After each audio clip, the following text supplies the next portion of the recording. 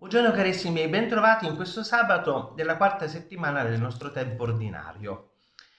La liturgia della parola di oggi che ci viene donata è tratta dalla prima lettura dal primo libro dei Re, siamo a capitolo terzo, dal versetto quarto al versetto tredicesimo. E qui abbiamo Salomone che va a Gabaon per offrirvi dei sacrifici. Davanti alla presenza del Signore fa una preghiera e dice: Tu Dio ti sei degnato di mettere su questo trono dopo il mio padre Davide e me, ma io sono un ragazzo, non so come regolarmi. E allora che cosa chiede? Qualcosa di bello. Concedi al tuo servo un cuore docile perché sappia rendere giustizia al tuo popolo e sappia distinguere il bene dal male. Infatti, chi può governare questo tuo popolo così numeroso?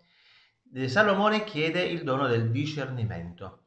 E Dio, siccome ha visto che questo ragazzo non ha chiesto chissà quali sfarzi, quali onori, eccetera, eccetera, eh, ha chiesto il discernimento per giudicare, ecco, faccio secondo le tue parole, dice Dio. Addirittura ti concedo anche quando non è domandato, cioè ricchezza e gloria, come a nessun altro fra i re per tutta la tua vita. Ecco allora la bellezza di saper chiedere, di mettersi alla presenza del Signore ehm, perché è da lui che noi riceviamo parole di vita eterna. Infatti il versetto del Vangelo dice le mie pecore ascoltano la mia voce, dice il Signore, e io le conosco ed esse mi seguono. Come punto di riferimento siamo chiamati ad avere il Signore, la sua parola di salvezza. Ecco perché gli apostoli di ritorno dalla missione, eh, Gesù li invita a stare con lui, a riposarsi un pochettino. Il riposo, carissimi, è qualcosa di importante nella vita perché il il corpo ha bisogno del suo riposo, certe volte se non glielo diamo se lo prende da solo perché alla fine crolliamo. Però è vero che c'è anche un riposo dello spirito.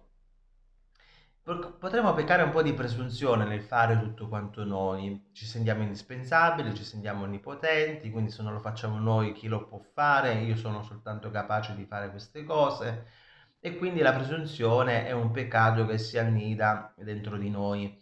E allora quel riposo dello spirito che prevede anche la preghiera, il raccoglimento, di mettersi davanti al Signore, trovare quel tempo durante la giornata per mettersi in preghiera e chiedere il dono dello Spirito Santo per un vero discernimento nelle cose da fare della vita. Ecco perché Gesù chiede agli apostoli di venire in disparte con lui, quindi di ritirarsi un po' dalla scena del fare, ma pensare un po' di più all'essere. E oggi, facendo memoria anche di Sant'Agata, una ragazza nata a Catania che desidera consacrarsi al Signore, il vescovo accetta questo suo proposito mettendole addosso un mantello rosso, ma ahimè il proconsole di quel tempo si invaghì di lei, non potendola avere, cosa ha fatto? L'ha denunciata come cristiana e pertanto Agata fu perseguitata in vari modi. Eh, addirittura le furono strappate con delle tenaglie i seni per una visione che poi ebbe fu anche guarita, poi fu messa sui carboni, doveva essere bruciata, ma un terremoto ehm, ha rimandato l'esecuzione e alla fin fine fu messa in prigione, dopo, dopo un po' di ore è morta. Bene, Agatha è una donna coraggiosa perché ha saputo scegliere la parte migliore, ha desiderato dare il suo cuore totalmente a Dio, non voleva dividerlo con nessun altro e per questo, per questa sua fedeltà continua, anche se è stata torturata e perseguitata, noi oggi la contempliamo nella gloria del cielo, è un aiuto per noi a, a rendere la nostra vita sempre più coraggiosa nei valori in cui crediamo. Bene, vi auguro allora di vivere così una buona, una santa giornata, per vivere nel discernimento c'è bisogno anche di una intimità con il Signore. Un augurio anche di buon onomastico a tutti coloro che portano il nome Agata e i suoi composti. Ci vediamo domani per il nostro appuntamento. Buona e santa giornata a ciascuno di voi.